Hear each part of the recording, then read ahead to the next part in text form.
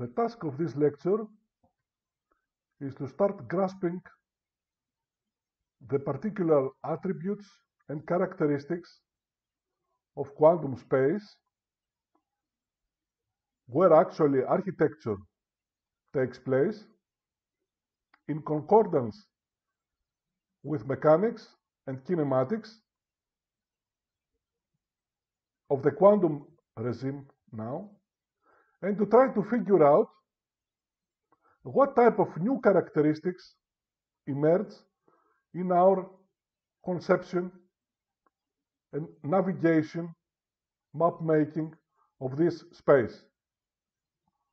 Through this, what we try to do is to figure out the characteristics of the new type of intelligence, artificial intelligence, which is inbuilt in our complex calculus, which emerged out of the extension of the exponential function as an encoding bridge from the real line to the circle.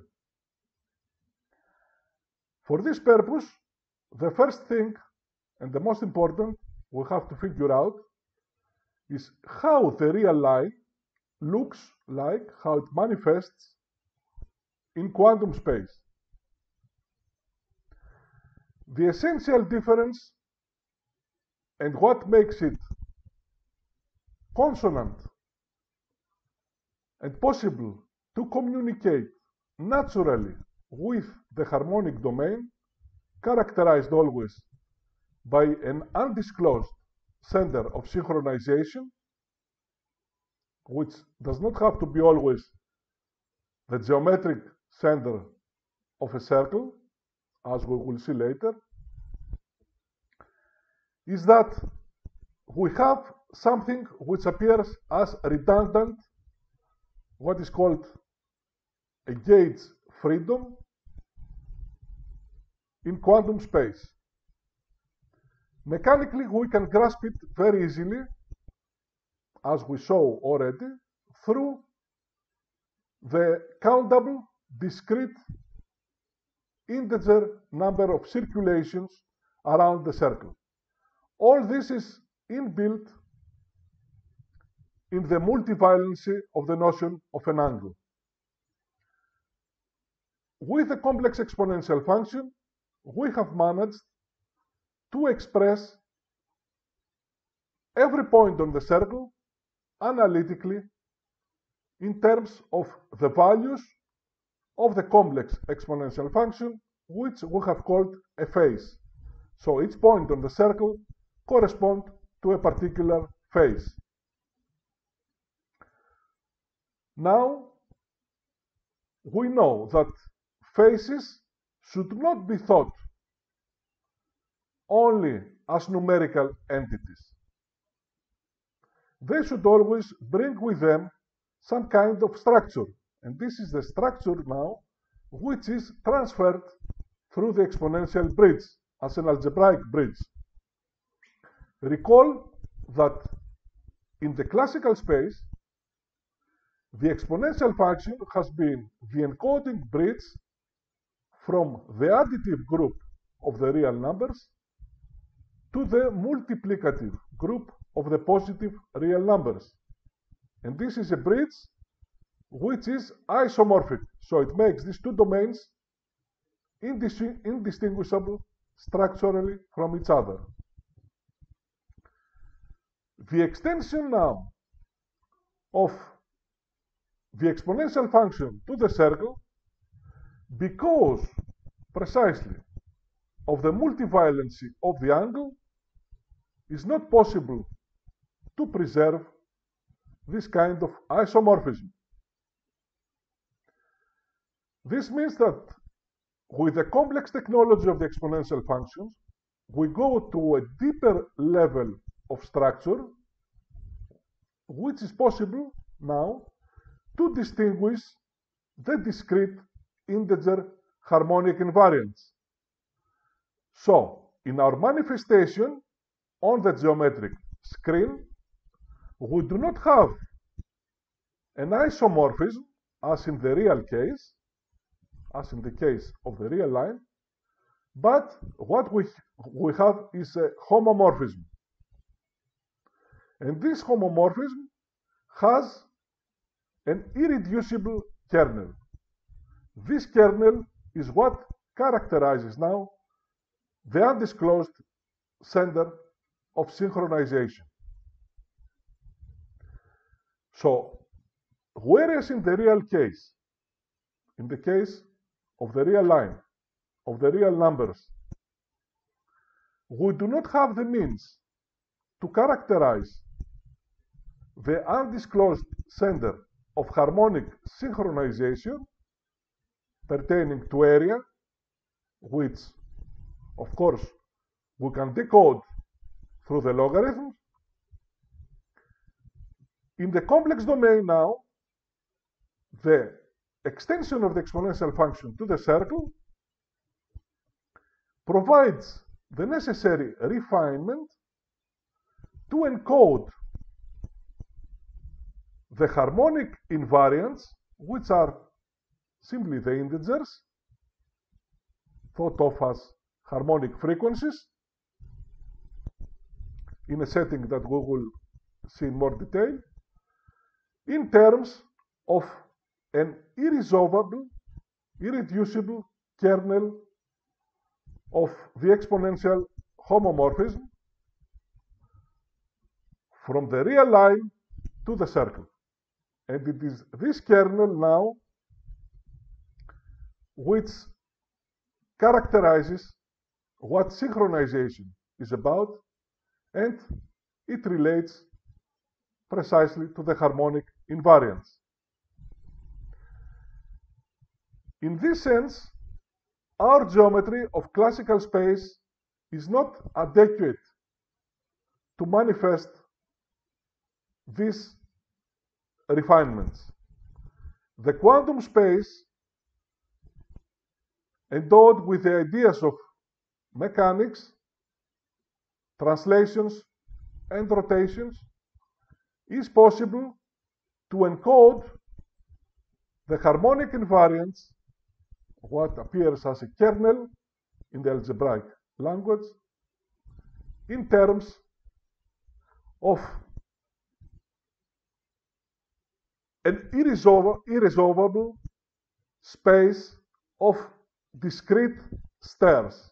This is the basic idea, which is actually of a topological nature, as we will see, which makes the whole difference at the simple level of the real line in classical space in comparison to quantum space. So let's start to see how the real line looks in quantum space. Recall that the points on a circle are characterized through the complex exponential function in terms of phases. The same phase corresponds to an angle irrespectively of the integer number of circulations around the circle. So the phase has precisely the same value irrespectively of the number of circulations. This now is a topological characteristic which is emerges. Recall that in the case of the real line, we also had a topological characteristic which came out of the irrational numbers.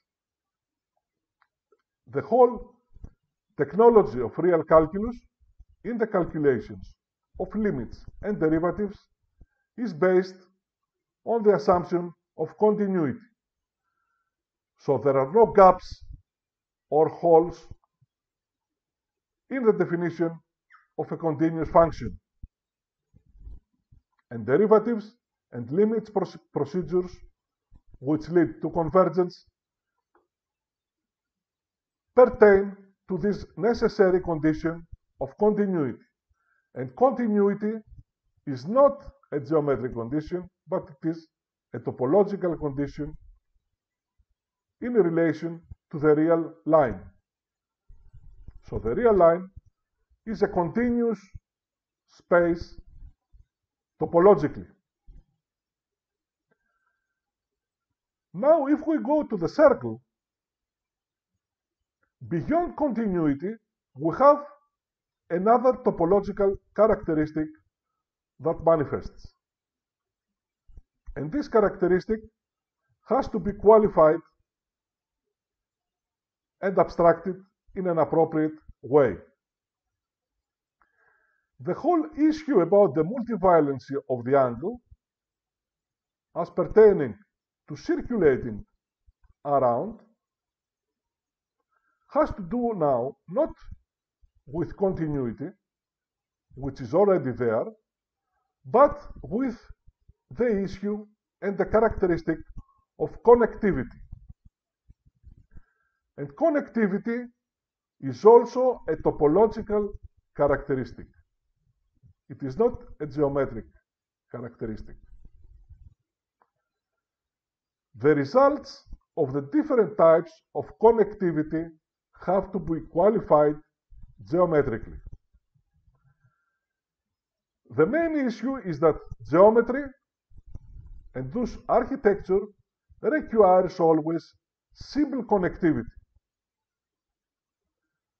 So the case which is emerges from the multivalency of the angle has to be unfolded appropriately in a simply connected way. The idea of connectivity can be explained as follows. Imagine that we want to navigate through circulation in this region here from one point to another. Of course, we can consider this type of paths. The issue now of multiple connectivity, which comes out of the multivalency of the angle, is that I can consider a simple path connecting these points, but I can at the same time circulate around an integer number of times until I connect any two points. So any two points here,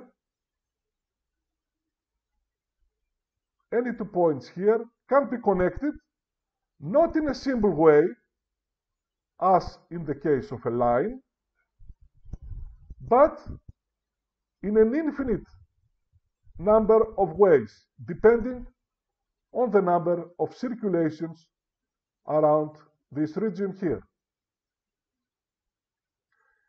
This is a topological characteristic which is called multiple connectivity.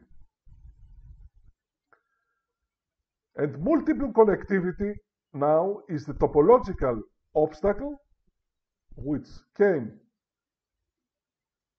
together with the multivalency of the angle, of the notion of the angle, and of course the extension of the exponential function from the real line to the circle. So classical space, the real line is always simply connected. Whereas the circle, because of the multivalency of the angle, becomes multiply connected.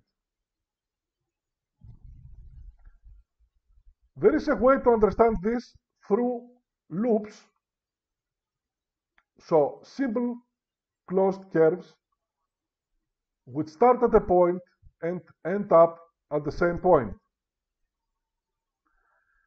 If this space here was simply connected, any loop could be contracted to the initial point. Now, precisely because the circle, topologically, is not simply connected, but it is multiply connected, it is impossible to contract loops at the same point.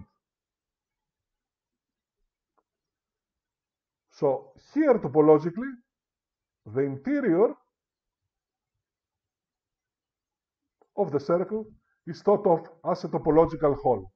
This is how the issue of multiple connectivity is encoded in topological language. And if we want to do geometry now, in quantum space, we have to deal with this, this obstacle. We have to devise encoding and decoding bridges going from multiple connectivity to simple connectivity. The resolution of this issue is already implicit in dealing with the method of Archimedes. What we have already talked about, about unfolding the circumference of a circle into a linear magnitude. The issue now is how we can think of it in topological terms. And the issue now is how, in this multiply connected space, what we think of as having the characteristics of quantum space, how can this space be unfolded in a simply connected way? Because the unfolding of this multiply connected space in a simply connected way will allow us to perform geometry and thus have architecture in the simply connected unfoldment of this quantum space. Now, in topology, the idea about this is called the covering principle. And the covering principle originates in the conception of Gauss and his best student Riemann. The idea is the following that dealing with the obstacle of multiple connectivity amounts to unfolding the circle into a helix. The helix is going to play the role of the universal covering space of the circle. What is the characteristic of the helix? The helix is simply connected. So going from any point to any other point on the helix, this can be done in a simply connected way. But the reason that this is possible is that the helix is structured not only in a continuous way, but it is structured in a series of discrete integer stairs. The different stairs of the helix, which is covering universally the circle, are indexed, so we have a partition spectrum in terms of the integers. So, we can understand now the integers together with their additive group structure as the discrete countable stairs of this helix. In this way, each integer corresponds to a winding number along this helix and equivalently to a winding number on the underlying circle. The Winding number is characterizing the circulation which takes place along the circle. What is the characteristic now of the partition spectrum of the helix? Again, we do not think of the helix as an operational geometric object. We think of the helix as an encoding bridge from the circle, which is multiply connected, to a simply connected geometry. The helix now is the one which will give the means to perform geometry in quantum space. But this geometry, beyond the continuum, brings along with it a partition spectrum which consists of the discrete integers, indexing the different stairs. What is this partition spectrum now amounts to?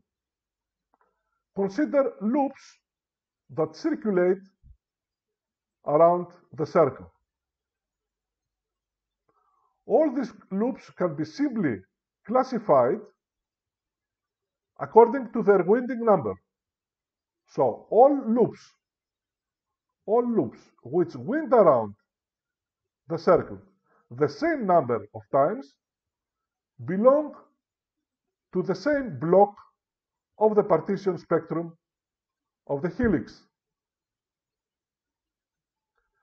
So the simply connected helix brings along a partition spectrum which consists of blocks indexed by the winding numbers, the discrete integers. Now, this discreteness, which lives together with the continuous, in a peaceful, democratic way, is appropriate and it is enough to lead us to the geometry of quantum space. As we said, this can be done through objective probabilistics and essentially quantum probability theory. The issue is that we do not know in advance the discrete harmonics, how they are distributed along the helix. But we can use the partition spectrum now, indexed by the windings, to figure out the relation between the harmonics, which will appear if we think of bounding this helix from above and below. So in harmonic terms, we can think of a self-interfering stationary wave propagating along the helix, reflected on the upper boundary, and heading back and interfering essentially with itself, through which we get the discrete spectrum of harmonics that now we can qualify topologically through the winding number. Now the idea is, the basic idea is that with the helix in quantum space, as the universal covering, as the universal covering of the multiply connected circle on our screen,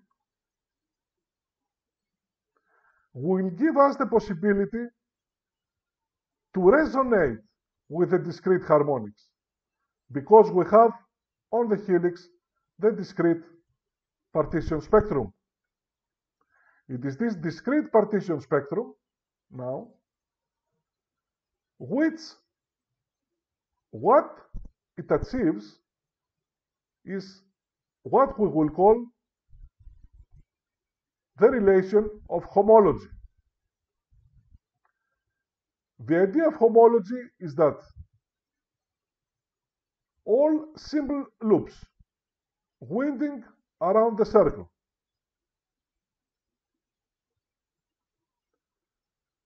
which wind around the circle the same number of integer times simply belong to the same block of the partition spectrum of the helix.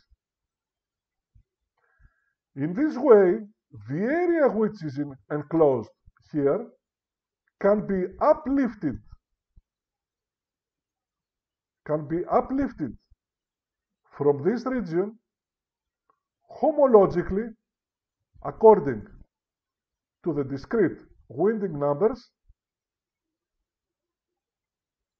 from space into time. But this time here, beyond the continuous aspect, brings inbuilt the discrete winding numbers, which will be the means to resonate with the discrete harmonics. So whereas in the case of the real line in the classical space and classical real valued calculus has only the aspect of continuity through which we can grasp the irrationals and all the limit, derivative, convergence, and integration also procedures as pertaining to the real numbers.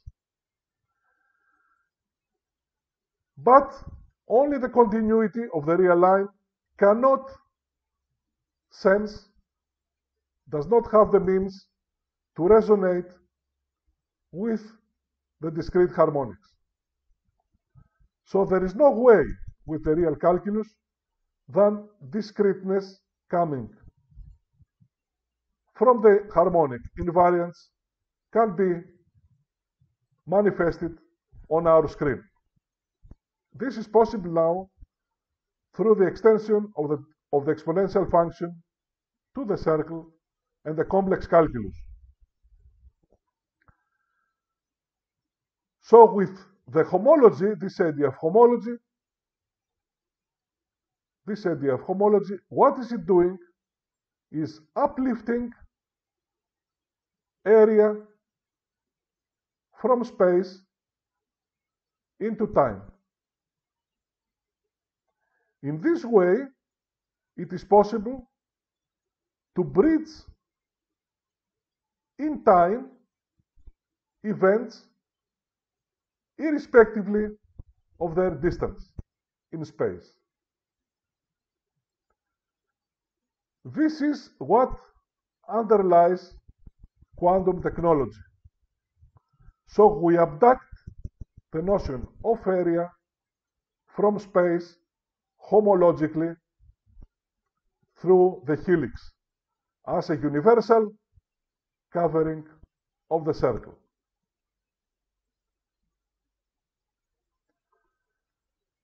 The question is now, how do we think of the real line in quantum space?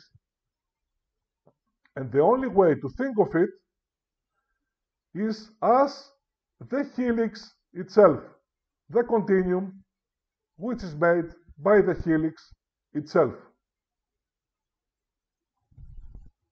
Of course, as we said, this continuum now brings inbuilt the discrete, the discretum of countable windings. And this is what characterizes the quantum real line in comparison to the classical real line.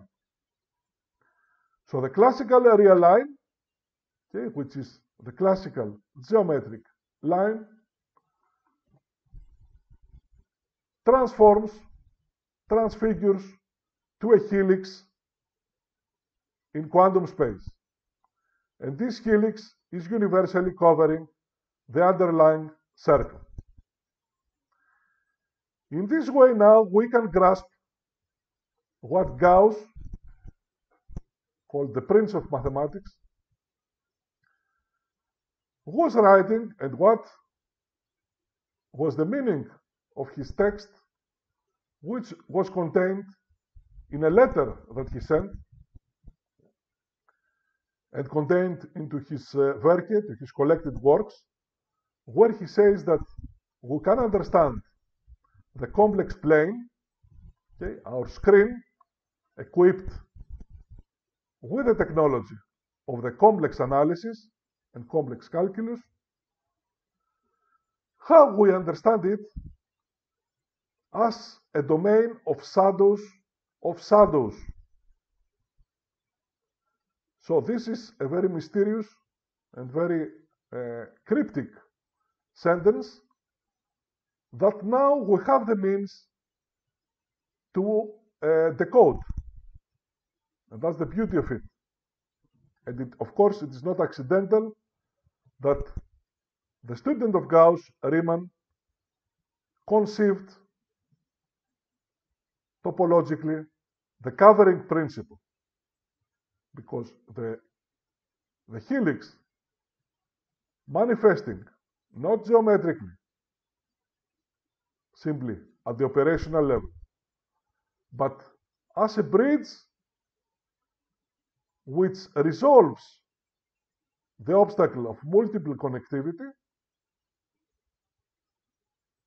belongs to Riemann and of course Riemann was embedded in the way of thinking of his mentor and teacher Gauss.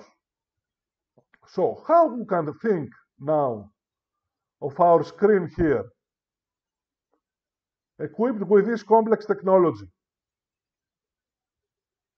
as a domain of shadows of shadows? This is the question.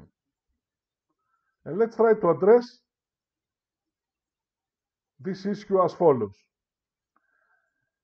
In the real domain, with the technology of the real exponential function,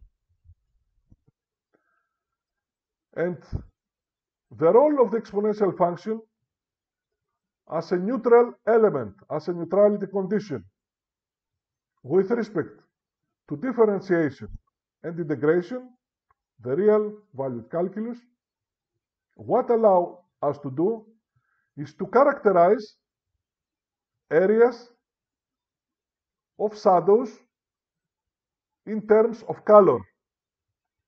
And for this, the instrumental role was the real valued logarithm in the Euler basis. Because the values of the logarithm, they characterize geometric areas of shadows in terms of colors. And this was the bridge from the time frequency domain, where the frequency now was referring to the spectrum of light, the continuum spectrum of light, with time, characterized by the uncertainty principle in the real domain. So with the real technology, we were able to give colors to areas through logarithms. So we can distinguish areas not only in terms of rational magnitudes, but in terms of their color through a spectrum of light. This was the domain of shadows. Here we talk about shadows of shadows. What is this extra characteristic? The extra characteristic is precisely given by the homology now. Is the abstraction of area from space. If we think now in quantum space of the real line as a helix, We have, through the continuum now, the characterization of areas through the logarithm, but we have something more.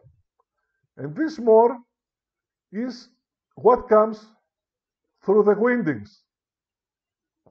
How we can qualify now the windings. The idea of Riemann was to qualify the different windings as different branches of a surface which is bounded in the unfoldment of these helices. So, you think of the outer circle here, so you have an annulus.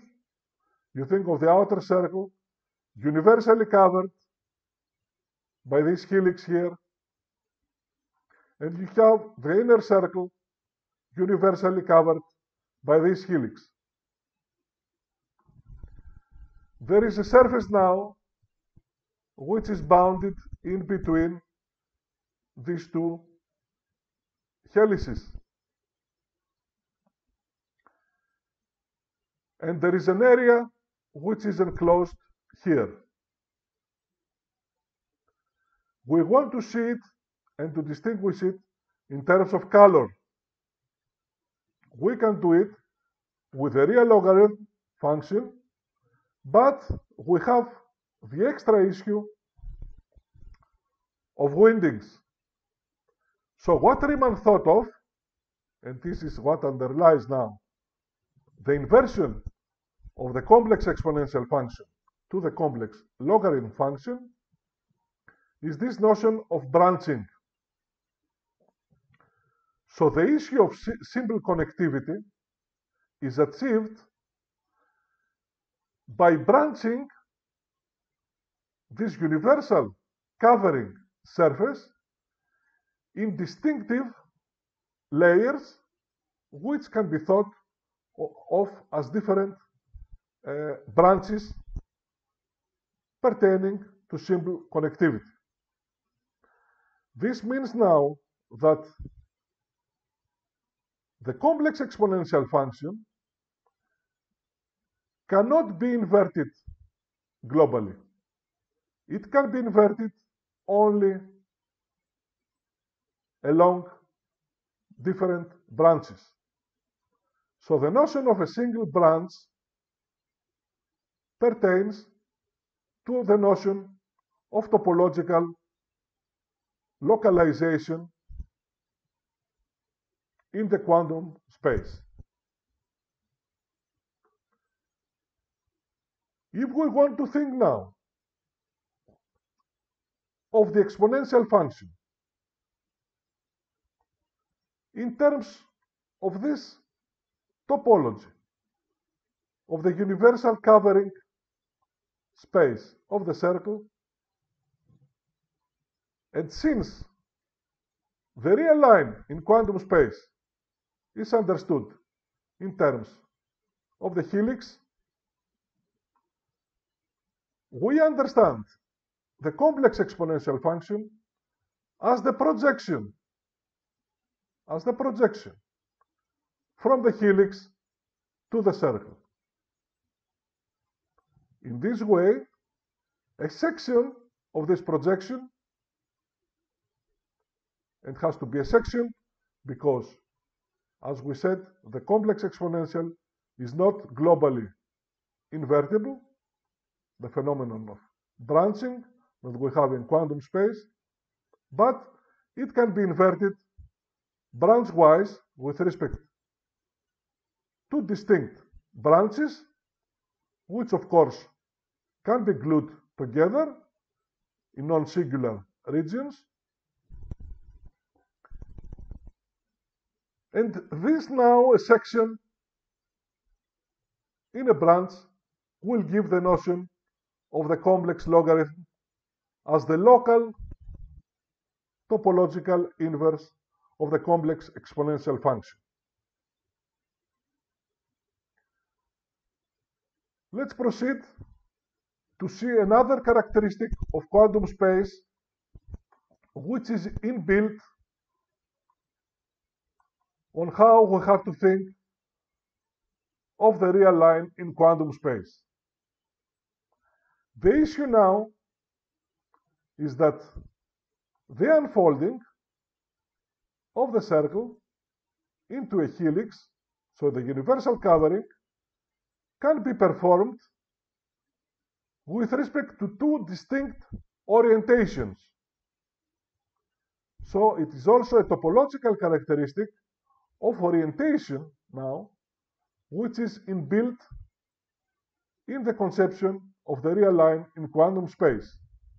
Something that we did, not have on the classical real line. As you can very easily see, the unfolding can take place either in an anti-clockwise way, following this type of circulation, or it can be performed in a clockwise way, following the inverse orientation. So there is a binary code which is inbuilt in the universal covering of the helix with respect to these orientations. This is an extra sign now that this universal covering helix is able to resonate with the harmonic domain because this double orientability descends from the harmonic domain. Recall that in the harmonic domain, the harmonic frequencies emerge out of self-interference of a propagating wave towards some bound, which is reflected back and essentially self-interferes.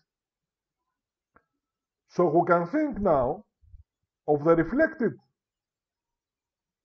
harmonic standing wave as corresponding to the opposite orientability of the helix. So both of them pertain to the understanding of the harmonic frequencies.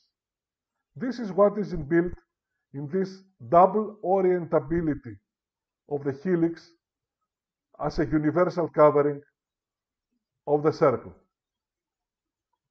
The issue of enantiomorphism or chirality.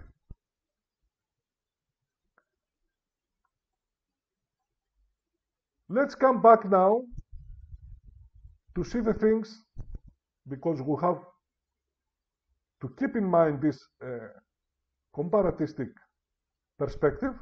So we have to be conscious of each step, how it relates with the memory which is already inbuilt up to now. And this memory is what is inbuilt in the real exponential function.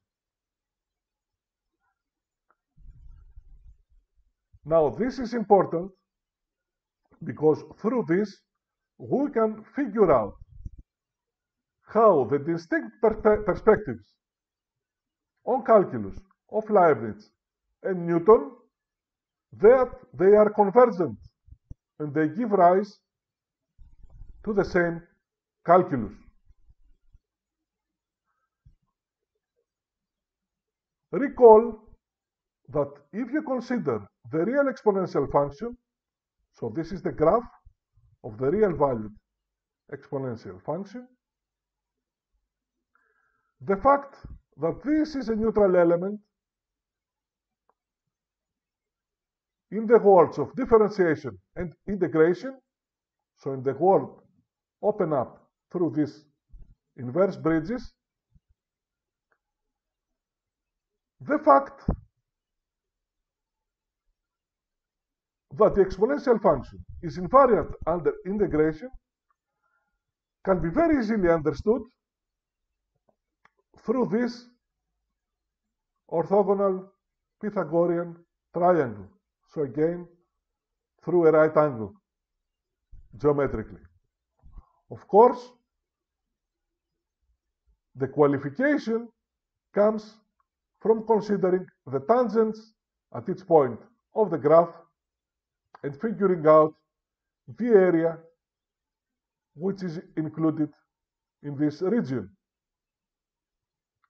The important point, which is what underlies the neutrality condition of the real exponential function, is that the subtangents,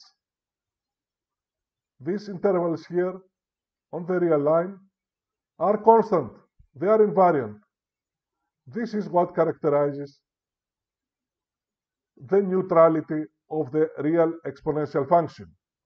So all these orthogonal triangles, because of the constancy of the subtangents, can be harmonically now, parallelly transported inside the orthogonal triangle, which is erected at each point of the graph of this function, so at any time through the tangent. And this is how we find the invariance of the area.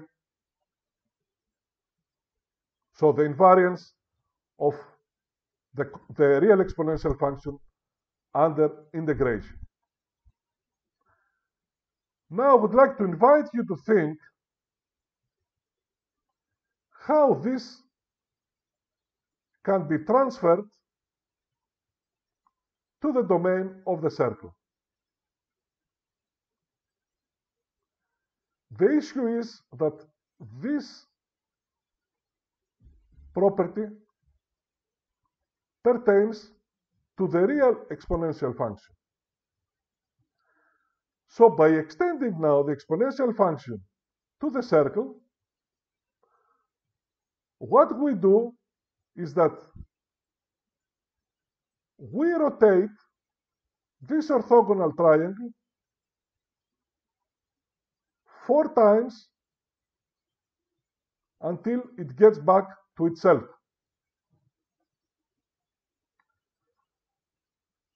This is very easy to see through a series of four rotations.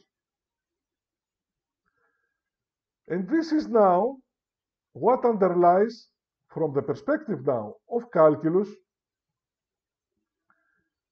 the conception of the imaginary axis in relation to the exponential function. The idea is that if you rotate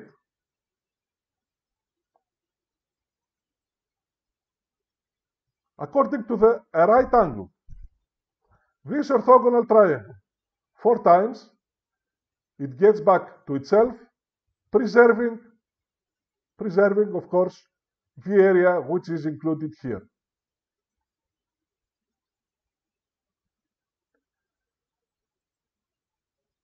And now compare it with the fact that the imaginary unit, if squared, gives the minus 1, so the opposite of the unity, but if it is raised to the fourth power equals the unity. The fact now that the imaginary unit raised to the fourth power equals the unity can be grasped by the invariance which is enclosed in the fourfold rotation of this orthogonal triangle under the graph of the exponential function defined by the altitude at any point, the constant subtangent, and of course the tangent at any point. In this way, everything we know from real calculus, it is the memory, of course, of the real exponential function, is encoded in an invariant way in the complex domain. So we do not lose the power of real calculus by this extension. This is very important because all the technology and all the memory which is already built in the technology of the real valued exponential function is transferred invariantly under the extension of the exponential function to the circle. And through this, we are also able to grasp the fact that the fourfold power of the imaginary unit get us back to the unity. So this orthogonal triangle, if rotated according to a right angle four times, comes back to itself, preserving, of course, the area which is included here. So from this perspective, it is the imaginary rotation performed in terms of the complex exponential function, which is the new element that our calculus has inbuilt in contrast to the real exponential function. And the fact that the number of rotations repeat in integer units, what we saw before in the universal covering of the circle by the helix, is what give us the possibility to access now through these bridges the domain of harmonics and to liberate area from space. So through the universal covering of the helix and through the homology of the partition spectrum, so each block contains all circulations sharing the same number of windings around, we are able to abduct any area from geometric space. And any area can be transferred in this way to quantum space, but independently of rigid geometry.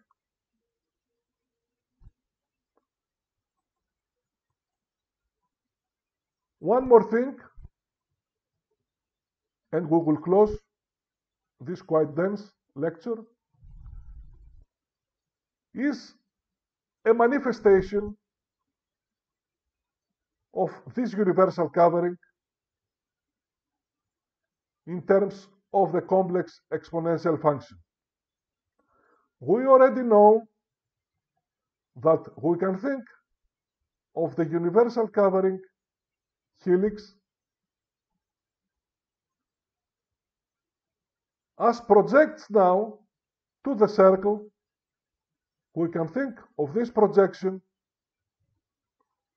that this is exactly what the exponential function is doing.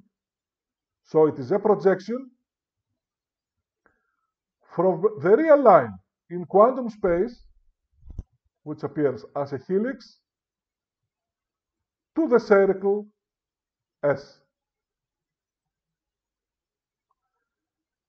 It can be inversed only locally with respect to distinct branches of this helicoidal surface which is inbuilt between the covering helices. So the complex logarithm leading to branching, so the simple connectivity is not the simple connectivity of a line, but it is a simple connectivity which comes out of gluing all these different branches together along non-singular regions. And this is now what leads at the further stage to the qualification of the real line in quantum space as a sheaf. It is what is actually achieved through the complex exponential function. So this was the, our starting point, and this is how we managed to re-manifest our real line in quantum space as a helix coming together with this discrete partition spectrum, which underlies what we call the quantum behavior. So what is that characterizes quantum behavior and why it is called like this is the discrete quanta. So the quanta, the physical quanta, are not particles. They are not particles. They are homology classes. So they are equivalence classes, blocks of the partition spectrum, which are gained out of the abduction of area from geometric space. And it is this quanta now which afford the encoding and decoding of the discrete invariant harmonic frequencies. If we come now to Gauss expression shadows of shadows, the first level of shadows is the qualification of the shadows in terms of geometric area expressed through the real logarithm as a color. The deeper level, the shadows of shadows, pertains essentially to what we call quantum space. In this way, the area of shadows does not belong to the ground. The area of shadows can be homologically uplifting in discrete branches.